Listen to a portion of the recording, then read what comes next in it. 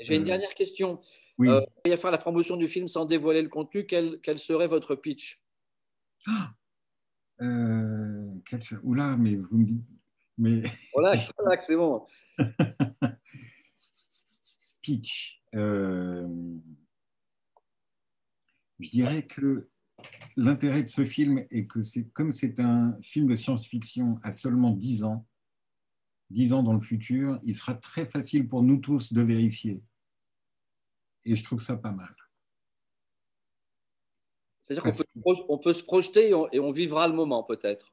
On va voir le moment et si vous voulez, on se donne rendez-vous dans 10 ans pour vérifier euh, les conneries que j'ai mis dans le film. Super. Voilà, c'est rare de faire un, un film de science-fiction aussi proche. J'aimais bien l'idée. Bon, oui, c'est encore un côté pessimiste quand même de, de dire que dans, dans 9 ans, euh, on risque de vivre ce genre de choses quand même. Alors, le problème, c'est que dès qu'on est un peu euh, documenté sur la question climatique, il est très, très compliqué de ne pas être pessimiste.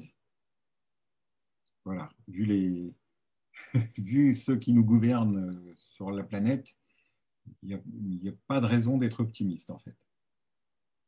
Mais euh, ça n'empêche que la, la part d'optimisme qui me reste, ça, va- ça me fait faire ce genre de film qui est une comédie. Voilà. Bon, ça c'est bien, on finit sur une note positive.